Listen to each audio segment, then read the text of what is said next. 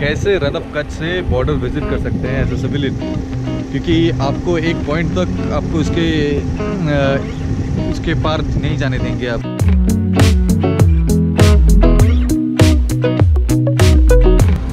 Guys मैं अभी हूँ कालो डूंगर पे।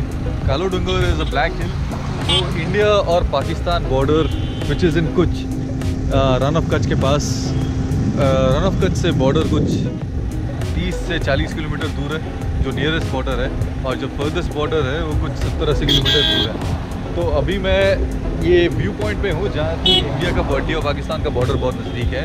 अगर अगर पीपल हुआ इंटरेस्टेड जो रन ऑफ़ कच्छ में आना चाहते हैं और जो बॉर्डर विज़िट करना चाहते हैं, उनके लिए स्पेशली मैं ये वीडियो बना रहा हूँ। आप कैसे रन ऑफ़ कच्छ से बॉर्डर विज़िट कर सकते हैं एज ए सिविलियन क्योंकि आपको एक पॉइंट तक आपको उसके उसके पार नहीं जाने देंगे आपको विदाउट परमिट तो फॉर अ परमिट आप क्या कर सकते हैं? आप भुज में बी एस एफ़ हेडकोार्टर्स जा सकते हैं। एक दो दिन पहले आपके ट्रिप में और वहाँ पे आप परमिट ले सकते हैं। आपको गाड़ी का नंबर जिस गाड़ी से आप जा रहे हैं ड्राइवर का नंबर और कौन कौन जा रहे हैं उनका सारा डिटेल्स लिख के देना है।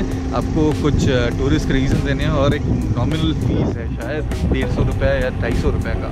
आ, मैंने ये दिया नहीं है क्योंकि मेरे रिलेटिव्स हैं जो आर्म फोर्सेस में हैं उन्होंने मेरे ऑलरेडी डायरेक्ट एंट्री करने दे दिया था।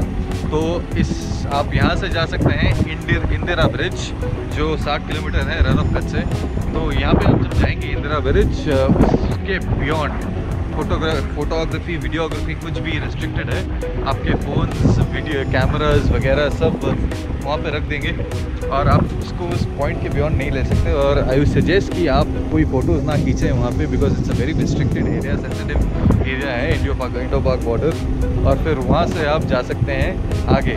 तो वहाँ पे तीन बॉर्डर पॉइंट्स है। एक है Vigakot border which is around 60 kilometers from uh, in India Bridge, which is the last bridge from uh, Indo-Pak border in Ran of Kutch. तो वहाँ से हनुमान मंदिर वीगा कोट वीगा कोट है 60 किलोमीटर हनुमान मंदिर का जो बॉर्डर आउटपोस्ट है वो है कुछ 20 किलोमीटर वहाँ का रास्ता कुछ अच्छा नहीं था मगर वीगा कोट का रास्ता काफ़ी अच्छा है। तो ये कोई भी बॉर्डर पॉइंट्स में आपको तीन चेक पॉइंट्स मिलेंगे जहाँ पर आपको एंट्री और व्हीकल एग्जिट करना है अपना।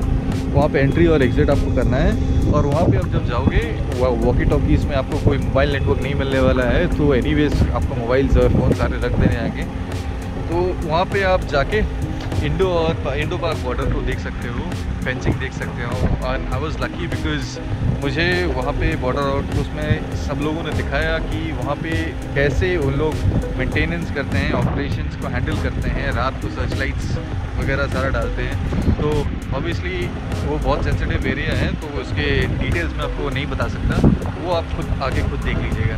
So for all of those people please permit आप पहले से ले लीजिए because without that you can't go so that's some of it I try and see if I can show you some pictures of that place अगर नहीं होगा तो I don't I can I can show to you but that's the information that I wanted to provide to you thanks guys